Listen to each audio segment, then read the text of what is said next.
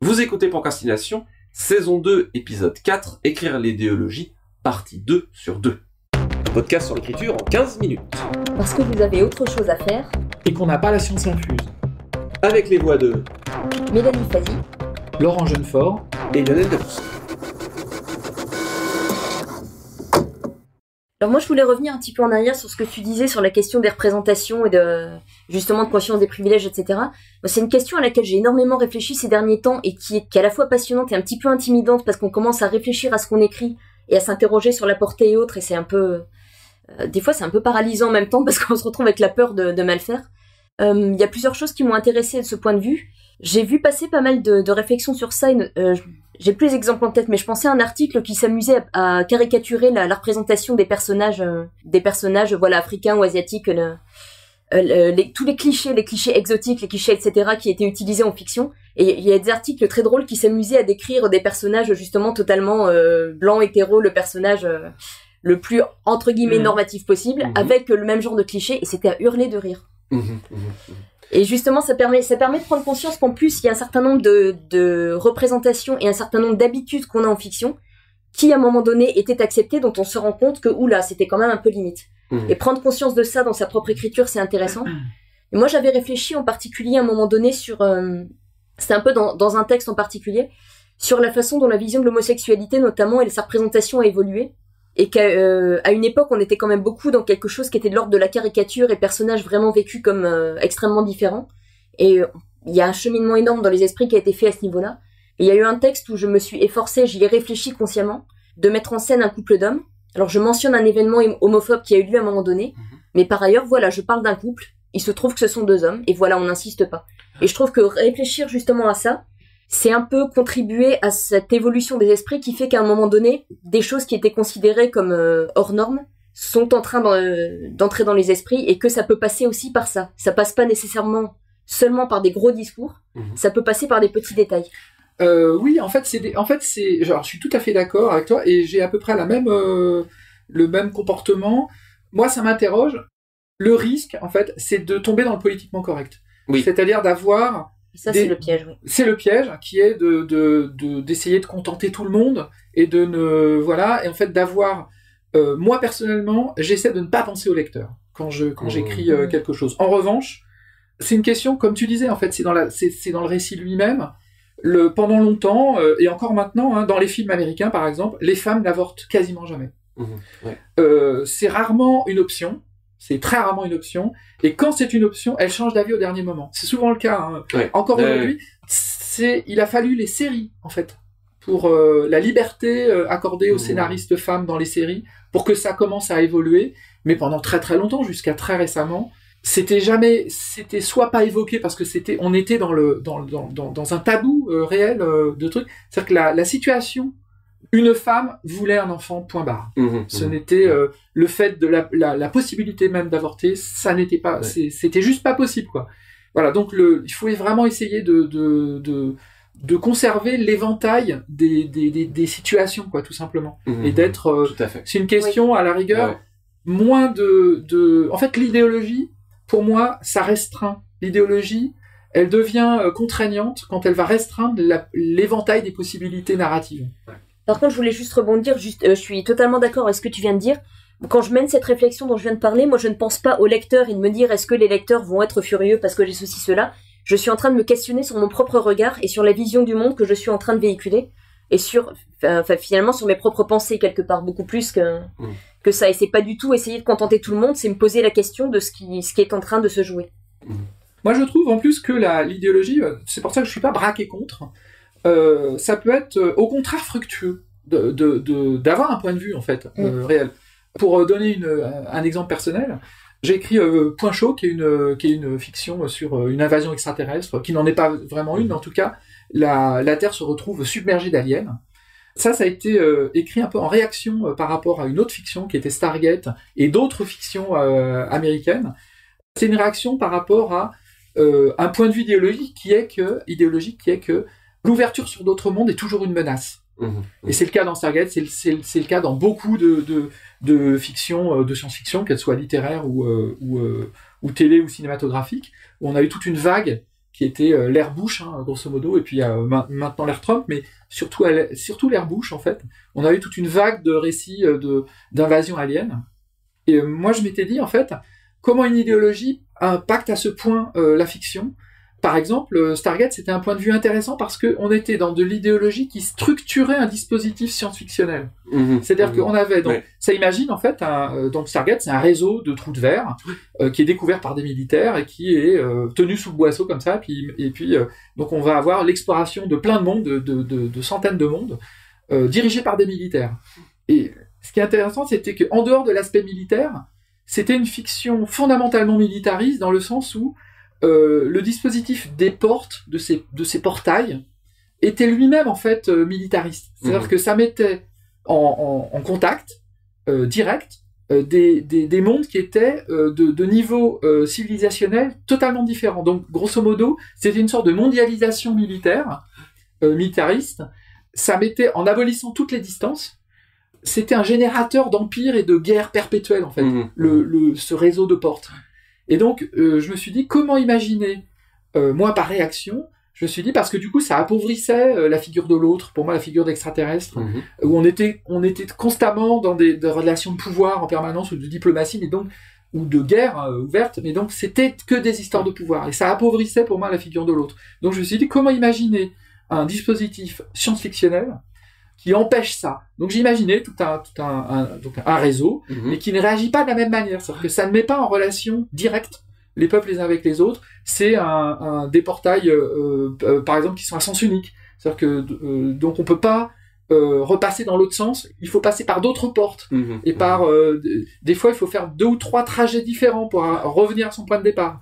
Il y a aussi le fait qu'on peut pas passer euh, des, euh, des beaucoup de tonnage, c'est-à-dire beaucoup de, de, de matière en une seule fois. Donc on peut pas amasser d'armée, par exemple, Mhm. à la sortie d'une porte, etc. En fait, j'ai coupé la possibilité de euh, d'envahir en fait un autre monde, en fait. Et donc du coup, ça restituait le, le fait que ce qui passe par des par ces portes-là, ce sont pas des des de la technologie ou des ou des ou des armées, mais des individus. Et donc, du coup, les, les extraterrestres qui passaient ces portes, ça redevenait des explorateurs, des touristes, des migrants, des, euh, des, des, des pèlerins, des, voilà. Ça- restituait la, la variété du contact, en fait. Voilà. Pour moi, c'était fructueux, en fait, de, de, de- d'imaginer ça. Donc, euh, donc le point de vue peut être réellement au cœur d'un, d'un- d'une fiction sans que ce soit chiant, forcément. Oui, oui, tout à fait. Non, non, bah, c'est, disons que c'est une dangereuse idéologie gauchiste, là, ce que tu... euh, En fait, c'est un peu l'inverse. C'est- c'est- C'est-à-dire que j'ai essayé de restituer la parce qu'on on peut avoir aussi des envahisseurs, Mm. Ça mais on peut avoir autre chose. C'est ça. Oui, en oui, fait. non, mais je suis... Ce que je dis en fait, c'est que c'est que une idéologie, elle devient euh, ennuyeuse dans la fiction quand elle restreint les possibilités. Hmm, je suis, je suis tout à fait d'accord. Et pour, pour rebondir sur ce que vous disiez, euh, notamment sur la, la, la, la représentation, c'est-à-dire euh, simple du, du, du couple homosexuel ou sur le rapport avec le politiquement correct, moi, il y a toujours la, l'intervention euh, hyper connue de Joss Whedon quand, euh, autour de Buffy, où euh, il fait, c'est un discours assez long, je crois fait un quart d'heure, 20 minutes, où il parle de Buffy comme personnage féminin fort. Et, euh, il, et la, la, la, bon, je, je spoil la fin, mais on lui demande, il, il réagit à la question qu'on lui demande tout le temps, c'est pourquoi vous avez créé un personnage féminin fort, et la conclusion de son intervention, c'est parce que vous continuez à me poser la question, sacré bon sang. Et et c'est vrai, et euh, je suis entièrement d'accord avec le fait que il y a, euh, c'est presque, euh, enfin c'est cette tendance qui je trouve absolument détestable, presque c'est le côté bon sauvage, c'est ah regardez, j'ai mis j'ai mis quelqu'un de la diversité pour voilà m'assurer. Vous avez vu comme je suis un écrivain progressiste, etc. C'est les choses peuvent être traitées tout simple, absolument simplement sans qu'on attire l'attention dessus. Et je pense que euh, si on cherche justement à faire progresser les choses, ça me paraît beaucoup plus fructueux que euh, de mettre l'accent sur les trucs. Bah, en fait, il y a deux, il y a deux points de vue. C'est-à-dire qu'il y a, il y a le point de vue euh, euh, révolutionnaire. Mmh. C'est-à-dire qu'on va amener un personnage, euh, le premier qui le fait, le premier qui a mis Mmh, un personnage féminin fort, ça fallait le faire. Oui, il C'est indispensable à un moment de, de casser des cadres quand ces cadres deviennent tellement étouffants qu'on a l'impression de plus pouvoir rien Tout faire. à fait. Mais alors, tu, il y a pour moi. Et il y a la vision Il progressiste, enfin, je veux dire, Oui. il y a la façon progressiste de le faire. Il y a des réformateurs, il y a des révolutionnaires dans la fiction, Oui. en fait. Et- Et, et les, les révolutionnaires, ils vont en général fonder des genres. Enfin, Mm. ça va être des, des, des trucs parfois radicaux, mais qui sont des fois euh, salutaires, quoi. Mm. Et puis des fois, euh, et puis des fois, faut faut faire le truc euh, par petites touches, par euh, voilà. Et je pense que les deux sont valides Mhm. d'une manière. Des fois, il y, a- il y a des époques où c'est nécessaire.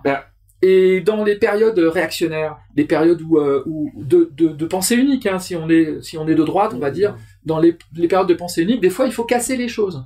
Voilà. Et donc voilà. Mhm. Donc je pense pas qu'il y ait de de bonne manière et de mauvaise manière. Il y a la manière talentueuse de le faire déjà. Oui. Et, Oui, oui, oui. et un roman talentueux, il peut casser les codes, mais il faut avoir. Par contre, pour casser les codes, il faut avoir beaucoup de talent.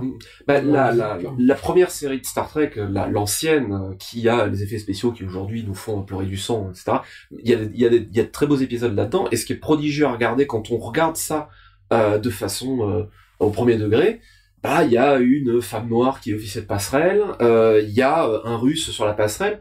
Il y a rien qui nous choquerait aujourd'hui. À l'époque, quand même, il faut se replacer qu'on est dans le contexte de la guerre froide. On a une femme noire en officier de passerelle alors qu'on est euh, dans un contexte ultra euh, euh, Ah bah, il y avait euh, encore la ségrégation. et il y avait, la, il y avait encore la Euh, ségrégation. Les, les noirs dans les bus, ils étaient à part et tout. Hein. Tout à. Donc c'était très très fort. Et on est en contexte de guerre froide, et il y a un russe, et tout le monde bosse normalement là-dedans dans ce contexte-là, et ça ne choque personne. Mais- Et aujourd'hui, il faut se replacer dans le contexte. J'allais dire, je me rappelle l'anecdote de Whoopi Goldberg qui dit avoir Exactement. euh, regardé la série quand elle était petite et qui, qui, euh, qui appelle sa mère, qui s'exclame Maman, il y, a une- il y a une dame noire à la télé et elle est même pas en train de faire le ménage. Oui, Je oui, pense oui. que c'est assez parlant. Et, euh, et euh, Nicole Nichols avait reçu une lettre de Martin Luther King, d'ailleurs, la remerciant, euh, et elle avait failli abandonner la série, mais la remerciant de, de ce qu'elle faisait.